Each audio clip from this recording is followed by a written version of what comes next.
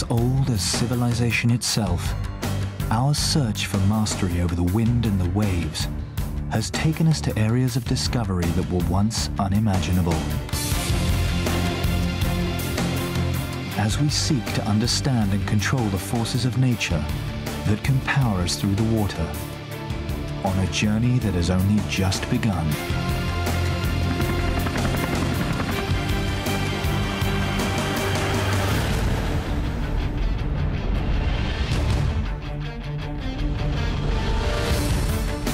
Since man first got on the water and realized that you can only get so far by rowing, sailing has opened up new boundaries. So I think boats will ultimately just keep going a little bit faster. We are dealing with problems which is of the order of uh, sometimes 1 billion of variables. 100 knots for me is not something impossible. The Sky is the limit. It's my life. I never think about anything else. When you get rid of the rules, you can incorporate anything you want. You're doing what you dreamed of doing. It's your turn to step up to the plate. There's always going to be a place for sailboats.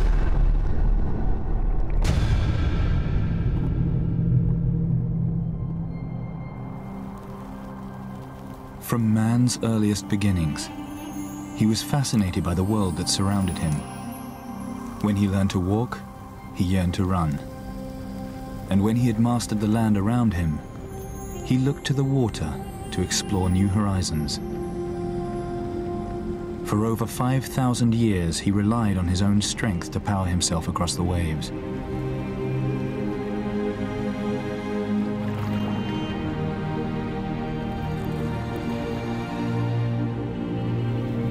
Like the Wampanoag tribe from the northeastern United States, he first took a tree, shaping it with fire and simple tools, to create a boat that could carry him across the lakes, the rivers, and the seas that made up his world.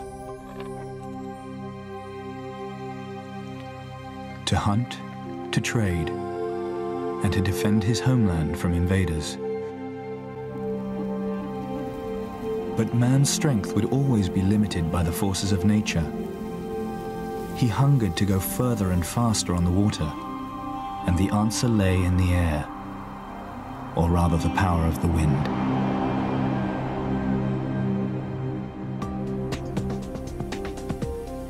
By adding a sail to his boat, man could harness the forces of nature rather than just his own muscle power, using the wind to propel him forward.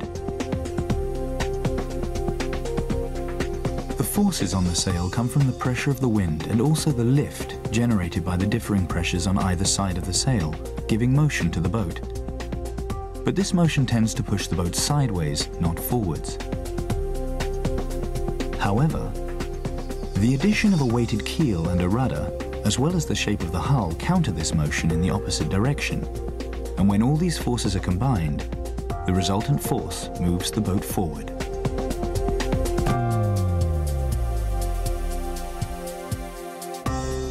The theory of how a boat sails may seem simple enough, but to make a boat operate as efficiently as possible requires a far deeper understanding. At Europe's number one centre for excellence in engineering and technology, Switzerland's École Polytechnique Fédérale de Lausanne, or EPFL, they have been exploring some of science's greatest mysteries for over 150 years. At the heart of EPFL is the Rolex Learning Center, a library containing one of the largest collections of scientific works in Europe, and big enough to accommodate nearly 2,000 people in a space where the latest ideas can be studied, researched, and debated by some of the brightest minds in the world.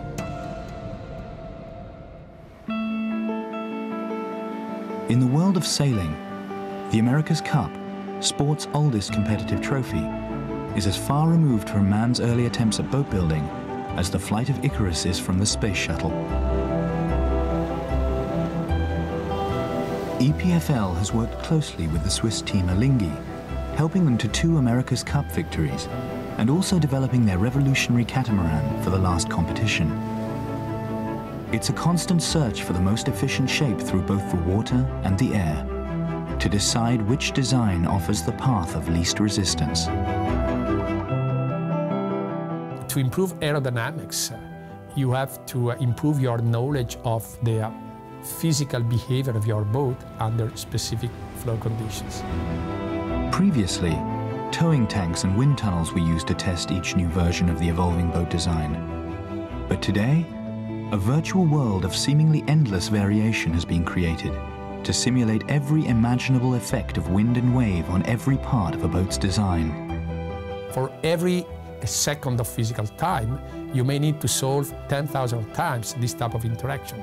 That explains why you need a big computer, hopefully a supercomputer, to make all this computation available in a reasonable time. EPFL has one of the world's fastest and most advanced supercomputer systems, capable of over 22 trillion calculations a second. This colossal computing power has been primarily devoted to mapping the human brain, but it also provides the mathematical muscle needed for the complex equations that simulating flow requires. But just as technology allows us a closer understanding of the effect air and water have on a boat, so the complexity of the equations increase. We can dream that uh, one day we will have uh, the perfect algorithm to get the perfect boat, uh, but uh, suddenly afterward uh, you will uh, try to devise new rules and different kind of boat, and then the adventure will start again from scratch. They were really built to sail downwind on a dead run or on a broad reach. They would handle beautifully, and they were able to sort of navigate their way around the world by following the prevailing winds. Like the America's Cup yachts of today, the square riggers at the turn of the 19th century were at the forefront of sailing technology. As soon as the apparent wind started to move forward of the beam, there was a noticeable lack of performance. But although these vessels were a quantum leap from man's early crude efforts at sail, there was still much to learn. East Indiamen like the Friendship of Salem were armed merchant vessels, built more for transporting large cargoes around the world than out-and-out -out speed. But evolution was constant. They certainly were experimenting with hull design, and during this period, it went from the standard East Indiaman design into the clipper ships. You can really say that the way of making the ship faster was by adding sail area and also adding length. If you made the ship bigger, it would go faster. For the clipper ships, speed was everything, whether transporting goods to ensure the best price or carrying passengers faster than their rivals. In 1854, the clipper Champion of the Seas set a 24-hour speed record of 467 nautical miles. It would be over 150 years before a single-hulled sailing boat would beat it. The job of sailing these boats fast was a tremendous amount of work. And every time you wanted to set that sail or reef it, you were handling a ton of weight. Handling a topsail would take a minimum of eight people. Um, and you were constantly changing your sail plan. It wasn't a life that was easy.